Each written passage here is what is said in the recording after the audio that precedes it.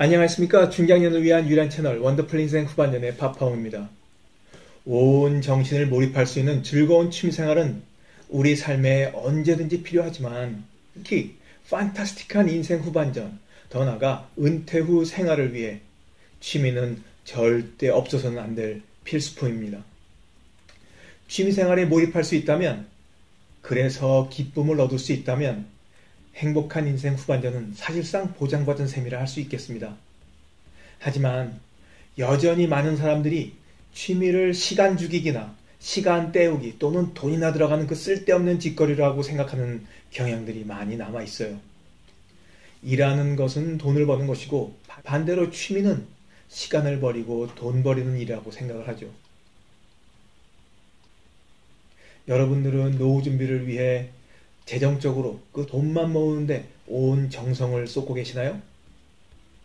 젊었을 때 새벽부터 밤늦게까지 1분 1초를 소중히 생각하면서 바쁜 시간을 쪼개고 쪼개면서 일에 매달렸던 사람이 정작 은퇴 후에는 시간을 쓸 줄을 몰라 되레 아무것도 하지 않으며 시간을 낭비하거나 주체할 수 없는 그 시간이 공포스러워서 다시 일터로 나가는 노인들도 있습니다. 아이러니죠. 아이러니도 이런 아이러니가 없어요. 고기도 먹어본 사람이 잘 먹고 놀아본 사람이 잘 논다고 한 살이라도 어렸을 때 평생 친구로 삼을 취미를 한두 개 만들어 놔야 은퇴 이후 시간이 남아 돌 때 젊었을 때와는 또 다른 그 다른 가치를 지니게 되는 그 귀중한 시간을 알차게 보낼 수 있습니다. 그래서 오늘은 늙어도 남아도는 시간을 행복하게 보낼 수 있는 취미생활의 달인이 되는 비결에 대해 이야기해 볼까 합니다. 구독과 좋아요 버튼 누르는 거 잊지 마시고 오늘도 영상 끝까지 함께 해주시기 바랍니다. 감사합니다. 주체할 수 없도록 많은 시간이 두렵고 불안한 사람들이 있습니다. 일 외에는 할 수 있는 것이 아무것도 없는 가여운 인생들이죠. 중장년 이후 삶에 있어서 취미는 시간 주기가 아닌 시간 창조라고까지 불립니다. 은퇴자들의 왕국이라 할 수 있는 일본의 한 주간지가 은퇴자들 가운데 즐거운 취미생활로 행복한 노후를 보내고 있는 이른바 취미생활 달인에 대한 이야기를 싣고 그들이 어떻게 취미생활의 달인이 되었는지 그 일곱 가지 비결을 정리했습니다. 그래서 오늘 제가 여러분께 그 비결을 말씀드리려고 합니다. 자, 시작합니다. 노후를 판타스틱하게 만드는 취미생활 달인이 되는 비결. 첫 번째, 은퇴 전 직장 다닐 때 취미를 만들어 놔야 한다. 30여 년간을 직장에서 일만 하다가 은퇴 후 바로 자신에게 맞는 취미를 찾아 시작하기란 뭐 쉽지 않은 일입니다. 힘들죠. 당장 내가 어떤 취미를 좋아하는지 내게 맞는 취미를 알아내기도 쉽지 않습니다. 또한 취미라도 즐길 수 있는 일정 수준에 오르기까지는 시간과 연습 그리고 인내심이 필요한데 이게 은퇴 후에 바로 시작하면 힘들잖아요. 그래서 하루라도 일찍 시작하는 게 진정으로 자신에게 맞는 취미를 또 일정 수준에 올라 즐길 수 있는 최고의 방법이고 그렇게 보자면 직장 다닐 때부터 미리미리 은퇴 이후에도 즐길 수 있는 취미 생활을 준비하는 수밖에 없습니다. 혼자 시작하기 힘들다면 주말이나 평일 퇴근 이후 시간을 이용해서 동호인 모임에 참석해 보는 것으로 첫 걸음을 떼어보시기 바랍니다. 노후를 판타스틱하게 만드는 취미생활 달인이 되는 비결. 두 번째, 쓰지 않았던 기능을 사용하는 취미를 찾아라. 우리가 살면서 깨달은 세상 이치 중에 조화와 균형이 중요하다는 것도 있습니다. 우리 몸과 정신도 마찬가지 아닐까 생각이 드네요. 사람이 기계가 아닌 이상 한 가지 자세로 30년 이상 같은 일을 한다고 생각해 보면 무리가 와도 한참 무리가 올 겁니다. 무쇠도 이렇게 다르면 피로 균열이 생기고 끝내는 절단 나고 말잖아요. 온갖 직업병의 원인 중 하나는 사람에게 혹독하리 많지 오랜 기간 한 가지 일만 계속하게 만들어서 생기는 것일 수도 있습니다. 그래서 새로운 취미를 선택할 때도 이런 조화와 균형을 생각한다면 우리 몸과 정신에 더 좋을 겁니다. 은퇴 후에는 몸을 많이 움직이는 취미 활동을 적극적으로 해보는 것이 인생의 전반전과 후반전에서 균형을 맞추는 걸 거예요. 요가, 등산, 자전거 타기, 뭐 수영, 뭐 필라테스, 뭐 그동안 적게 썼던 우리 몸의 기능을 활성화시키고 회복하는 겁니다. 반대로 은퇴 전에 몸을 많이 쓰는 일을 했다면 은퇴 후에는 책 읽기라든지 그림 그리기, 붓글씨 쓰기, 글쓰기, 악기 배우기, 뭐 식물 가꾸기 등 정적인 취미를 갖는 것이 건강에 이로울 수도 있어요. 균형과 조화가 중요하다는 거죠. 노후를 판타스틱하게 만드는 취미생활 달인이 되는 비결 세 번째 당장 가능한 취미부터 시작하고 본다.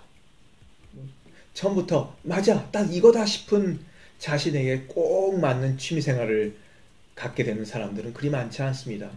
그래서 여전히 많은 사람들이 어떻게 자신만의 그 명확한 취미를 찾을 수 있는지 그 방법을 궁금해하죠.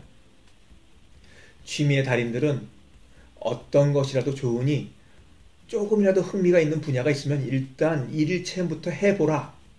그렇게 조언합니다. 뭐 이게 맞을까?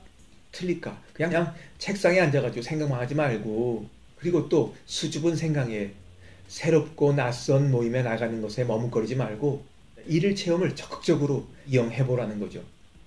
또 서너 번의 체험으로도 마음에 가는 취미 활동을 못 찾았다고 해서 포기하지 않는 적극성과 끈기가 필요하다고 취미 달인들은 알려줍니다. 예를 들어 자신이 붓을 들고 그림을 그리는 것을 좋아한다고 생각했었는데 체험을 통해 붓글씨 쓰기가 더 재밌고 관심이 간다는 것을 알게 돼 새로운 취미를 얻게 되는 경우처럼 우리에게 뜻밖의 취미가 다가올 수도 있겠습니다. 그러니 자꾸 자꾸 새로운 것들, 이것들, 이것저것들을 경험해 보세요. 노후를 판타스틱하게 만드는 취미생활 달인이 되는 비결.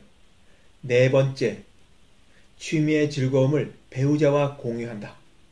취미 생활이 아무리 재밌더라도 자기 혼자만 즐기다 보면 가족에게, 특히 배우자에게 덩그러니 홀로 남겨진 고독감을 줄 수 있습니다.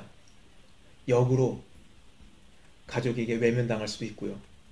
낚시, 골프, 테니스, 축구, 등산 등 남편의 취미생활 때문에 주말에도 여전히 혼자 집을 지키는 불쌍한 아내들을 주말 과부라고 부르죠. 아무리 취미생활이 내 삶의 활력소라 하더라도 그로 인해서 외톨이가 되는 배우자가 있다면 장기적인 관점에서 결코 바람직한 취미생활이라 할 수 없겠습니다. 남편이 친구만 좋아하고 아유 뭐 번거롭게 아내까지 대동하고 취미생활을 하고 싶지 않아서 주말 과부가 되는 경우가 대부분이긴 하지만 반대로 남편이 같이 하자 하자 해도 또 아내가 전혀 관심이 가지 않는다고 거부하는 경우도 있어요. 그래서 자신 스스로가 주말 과부가 되는 경우가 있죠. 모든 일에는 중용이 필요합니다. 부부가 함께 즐길 수가 있다면 이보다 더 좋은 일은 없겠지만 또 현실적으로 모든 취미 활동을 부부가 똑같이 관심 갖고 함께 하는 것도 쉽지 않습니다. 이럴 때는 균형을 잘 맞춰야 하죠, 당연히. 부부가 함께 하는 취미 생활 하고 또 서로 각자 즐기는 취미 생활의 그 균형을 잘 맞춰서 서로 응원하는 그리고 배려하는 관계를 유지해야 취미 활동의 즐거움이 3배, 4배 그렇게 배가 되는 겁니다. 노후를 판타스틱하게 만드는 취미생활 달인이 되는 비결 다섯 번째 취미생활의 구체적인 목표를 세워라. 취미는 어떤 목적을 달성하기보다는 단순히 즐기는 것이긴 하지만 이런 취미도 달성할 목표가 없으면 금방 흥미가 시들해지고 열정이 식기 마련입니다. 그러니 취미 생활에서도 구체적인 목표를 세우는 것이 취미 몰입도를 높일 수 있고 또 그것을 통해 실력이 발전해 나가는 거죠. 합창단은 적어도 1년에 한두 번은 경연대회에 참가하고 뭐 연말 즈음해서 발표회도 갔잖아요.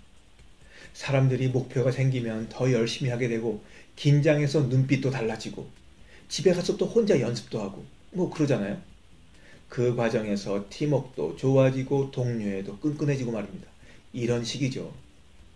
달성 가능한 목표를 세워놓고 꾸준히 연습하고 또 활동하다 보면 그렇게 단순한 취미를 넘어 전문적인 지식과 기술 또 재능으로 진화 발전할 수 있습니다. 그러다 보면 전문가라는 소리를 듣는 날도 있을 거예요. 다 그렇게 시작해서 사다리를 오르다 보면 새로운 지평에 이르게 되고 또 그 지평에서 나보다 더 실력 좋은 사람도 만나서 가르침도 받고 또 그와 경쟁도 하면서 또 다른 한 단계로 도약하게 되는 거고요. 노후를 판타스틱하게 만드는 취미생활 달인이 되는 비결. 여섯 번째, 취미 모임의 인간관계는 수평적이어야 한다. 미리 미리 은퇴 전에 동호인 모임이나 취미 모임에 참여한다고 해서 모두 취미생활 달인이 되는 것은 아닙니다. 모임 활동은 같은 취미를 위해 모인 만큼 친구 사귀기에 아주 좋은 장소죠. 사회에서 정한 모든 구분과 경계선이 이곳에서는 필요하지 않습니다.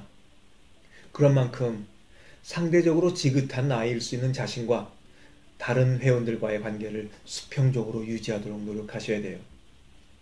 그래야 더 많이 배울 수도 있고 그 모임 속에서 더 녹아들 수 있으니까요. 다시 말씀드려서 나이와 계급장, 긴 가방끈, 다니고 있는 회사의 명망, 그리고 뭐 사회적 위치, 뭐 이런 헛개비들은 다 떼어버리고 동심으로 돌아가 회원들과 친구가 되는 게 취미생활의 달이 되는 또 다른 비결입니다. 노후를 판타스틱하게 만드는 취미생활 달이 되는 마지막 비결 일곱 번째 상대방을 기다리지 말고 먼저 다가가라. 동호인 모임 또는 취미 모임에 나가 그 그룹에 빨리 녹아들기 위해서는 누군가 자신에게 다가오기보다는 다른 회원에게 먼저 다가가는 용기를 내야 합니다. 처음에는 이 모임 활동이 어떻게 진행되고 누가 이끌어 가는지 모든 게 낯설고 어색하겠지만 그런 속에서도 옆에 앉은 사람에게라도 먼저 말을 걸고 마음을 열어 다가가는 게 필요합니다. 아무리 작은 모임이라도 인간 사회인 것이고 이곳에서도 인간관계를 좋게 맺어가는 그 법칙은 언제나 유효하죠.